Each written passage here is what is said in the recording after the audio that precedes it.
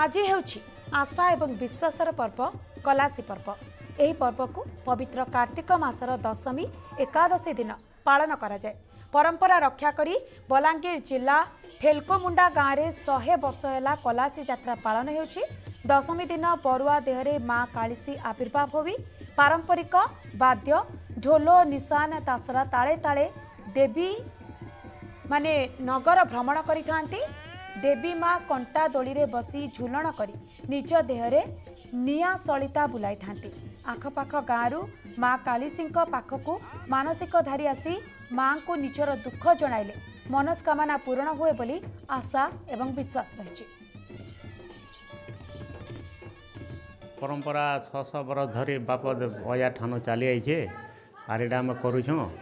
और एंता तो यहाँ मेन पूजा हो जे शुभकलासी पूजा तापर आम तेतीस कोटी देवता इन्हें सब पूजा हेसी शुभकलासी जत्रा यहाँ बहुत भक्त मैंने आसुचन आम गाँ के आ मानसिक धारे मानसिक कर मानसिकटा पूरण हो पारे अन्य बर्ष आमर इना जत्रा बहुत धूमधाम हेसे কোভিড কটকণা লাগে আমার এনে যাত্রাটা নাই হয়ে পারবার আমি সরকার নিয়ম মানিকরে সমস্তে চালুছু